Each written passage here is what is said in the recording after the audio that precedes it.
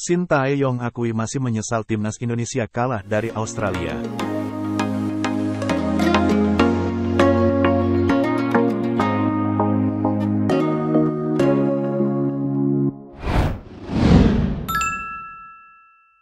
Pelatih timnas Indonesia, Shin Tae-yong, mengakui masih merasakan penyesalan yang banyak setelah kalah dari Australia.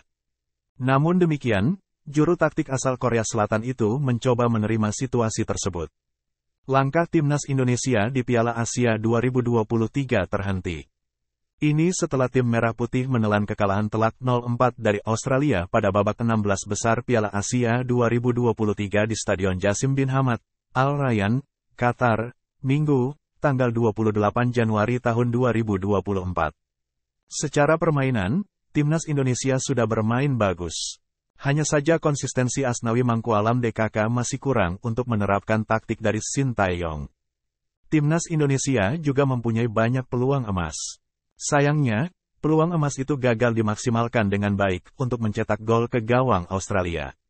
Kalah dari Australia sebenarnya sudah cukup baik untuk timnas Indonesia.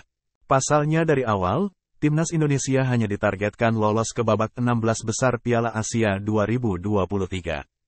Para pemain timnas Indonesia senang bisa mencapai target itu.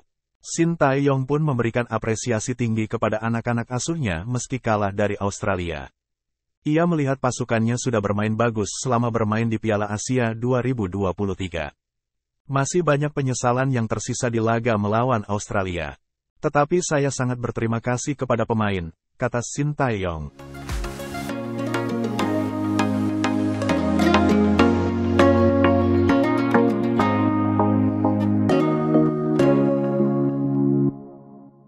Download Tribun X sekarang, menghadirkan lokal menjadi Indonesia.